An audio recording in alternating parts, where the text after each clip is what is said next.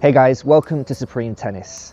Today I just want to share a tip with you, a tip that I believe really could be a game changer if you aren't applying this already on your forehands and your backhands.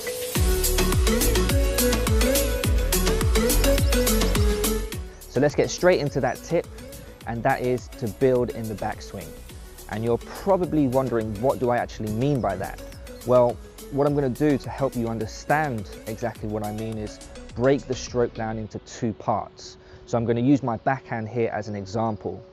And the first part we're going to refer to is called the building phase or the loading phase.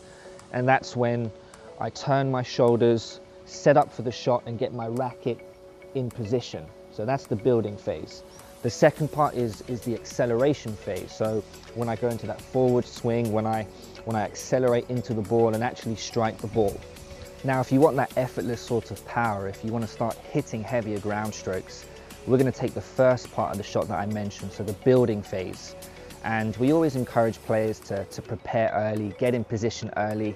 And that is partly because we don't want you to hit the ball late, of course, but it's also essential because we want that first part of the stroke, the backswing to be smooth. We want it to be relaxed. And that is key in, in building momentum in the shot. So in other words, the backswing should never be rushed. And the more rushed it is, the less momentum you're going to be able to build and the less racket head speed you're going to be able to generate. And a really good test you can do yourselves just to really see the importance of this tip is to just do some shadow swings on the forehands or the backhands.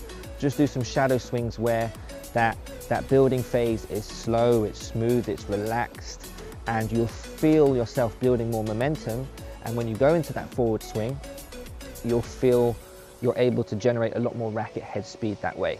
Then again, if you do some shadow swings and you do the opposite, in that that backswing is rushed, you won't feel like you can get the same amount of power and pace going forwards. Anyway, guys, that was today's tip to build in the backswing.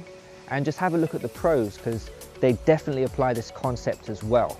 So I highly recommend that you go out on the court and try it too.